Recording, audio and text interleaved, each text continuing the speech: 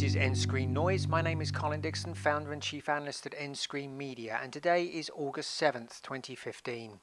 It's been a very difficult Q2 for Dish Network. The company says it lost 81,000 subscribers in Q1 to finish at 13.9 million in total, and they are now down 121,000 versus Q2 in 2014.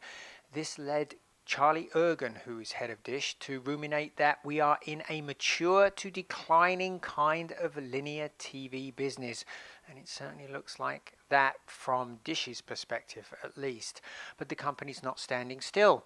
It launched Sling TV, which is its OTT direct to consumer service online with 20 channels, 21 channels for just $20, uh, plus a bunch of $5 add on packs. And we actually got some information on that from Roger Lynch, who is CEO of Sling TV. And he says the company had 169,000 subscribers at the end of Q1. No update for Q2 though. So the question is is Sling actually compensating for the losses that we are seeing in this quote mature and declining dish satellite business? Well, the answer there is sort of certainly from the perspective of subscribers, the 169,000 are adding on to the total number of Dish subscribers. Uh, so actually losses would have been a lot worse without the Sling TV business. But is it making the money? Well, the dynamics of the two businesses are very different. Charlie Ergen says if you bring a person on sling on the sling side of course your SAC which is uh, subscriber acquisition cost is materially less. Your ARPU average revenue per unit is also less but the value is about the same. And boy is he right about SAC subscriber acquisition cost being less in Sling TV SAC for Dish is about $800, uh, but for Sling is just 10 or 20 dollars something in that range they don't they don't start state it specifically uh, but what Charlie Ergen is saying is the margin on the bundle is probably less too, but since the costs involved in, in acquiring that subscriber are much less, uh, it looks like it could be adding about the same amount of profit to the company. So is Sling TV cannibalizing Dish subscribers? Well, the answer is probably not, at least to according to Roger Lynch. Roger, Roger Lynch says that their primary audience comes from three pools. Pool one is called nevers, those people that have never had pay TV. Uh, they're picking up Sling TV. That's the biggest pool, he says. Somewhat smaller is cord cutters, those people that have cut the cord sometime in the last four years.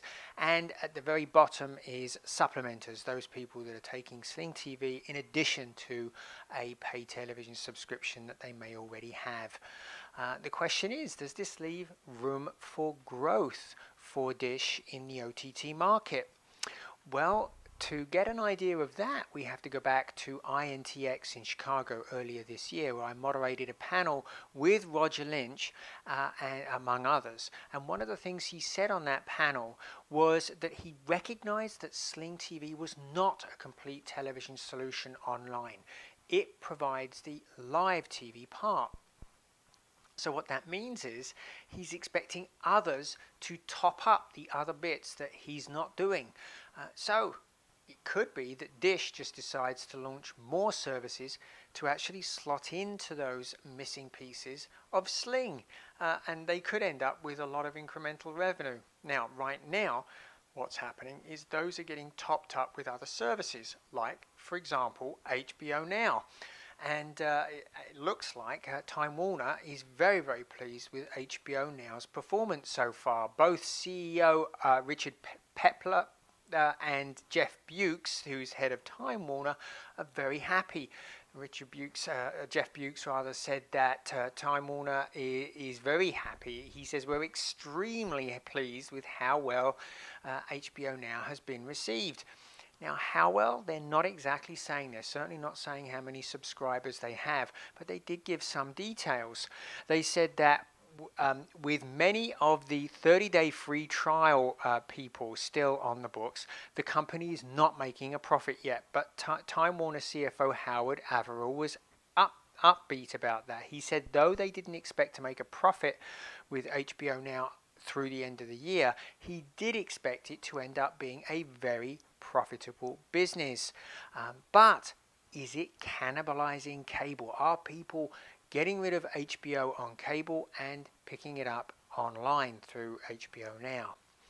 Well, the answer, at least according to Richard Plepler, is a very definite no. He says we've seen less than 1% of HBO people leave the bundle to go to get HBO Now, uh, according to him.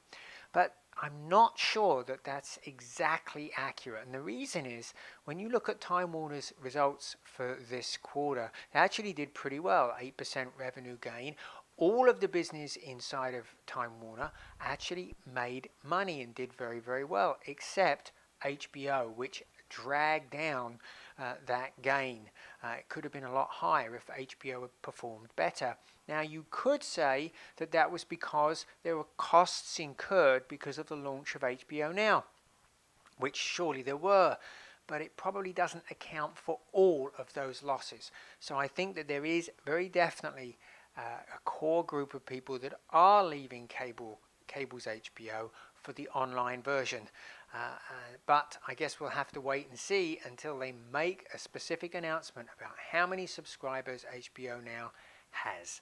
Uh, and once they do, you can bet we'll be reporting it here on End Screen Noise. We'll see you again next.